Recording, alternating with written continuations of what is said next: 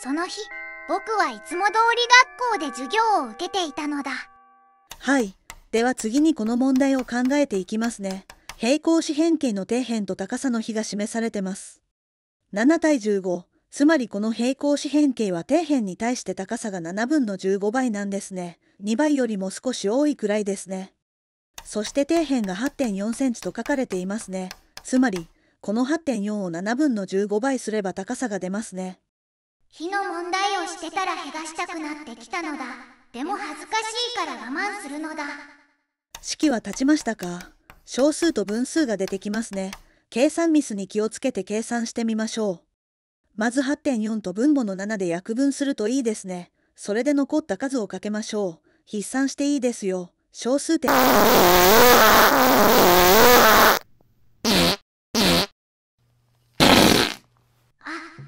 誰かがめちゃくちゃ大きなおならをしたのだ。僕じゃないのだ。あう。うげえ。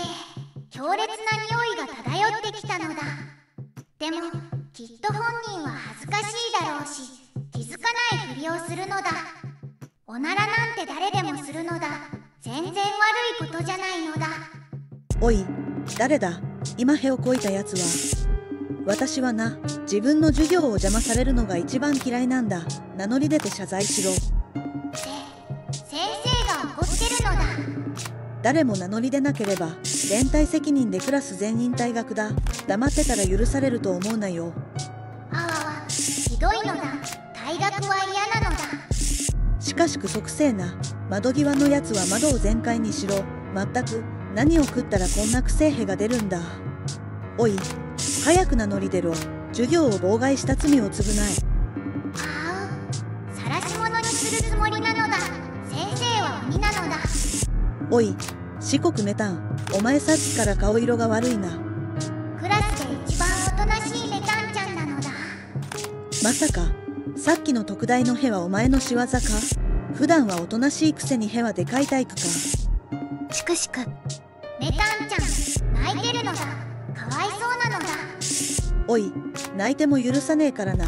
四国メタンはっきり言えよ。お前なんだな。だったら私がへをこきました。授業を邪魔してごめんなさいって謝れよ。しくしくわ私が。僕なのだ。おならをしたのは僕なのだ。ああずんだもん。先生おならで授業妨害してすみませんなのだそうかてめえだったのか。ずんだもん正直に謝ったことは評価してやるよ。そうだな。反省文800字くらいで許してやるか。それにしてもくせえな。窓全開なのにまだ匂うぞ。おいずんだもんお前まさかうんこまで漏らしたんじゃないだろうな。ええさすがにそこまではしてないのだ。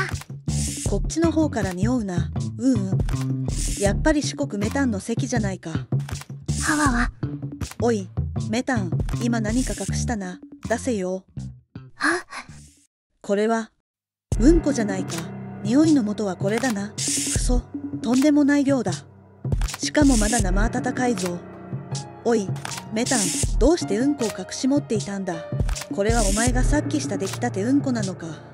しくしく泣いてちゃわかんねえだろうが。しょうがねえな。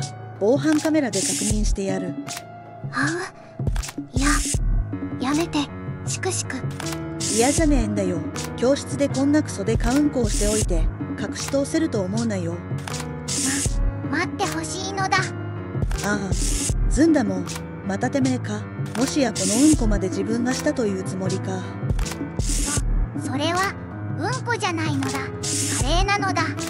ああこんなうんこ性カレーがあるわけねえだろこの匂いは僕の生まれた東北地方に代々伝わる特製スパイスの匂いなのだ。東北の人はみんなこの匂いが大好きなのだ。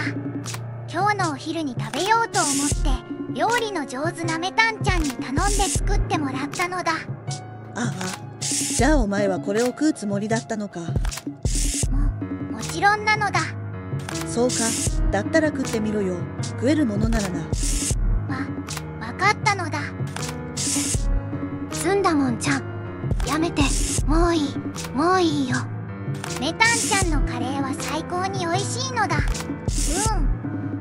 ゲホしい香りなのだ。やめて。本当にやめて。食べるのだ。ガクもぐもぐ。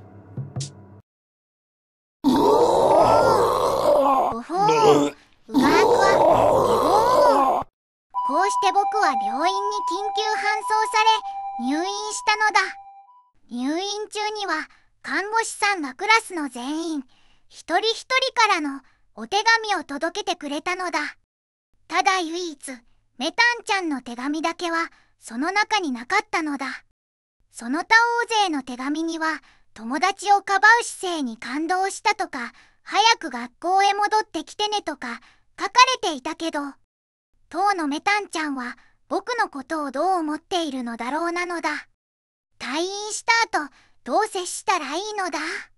そんなことを病室で考えているとこのまま一生入院していたいとすら思えてくるのだ。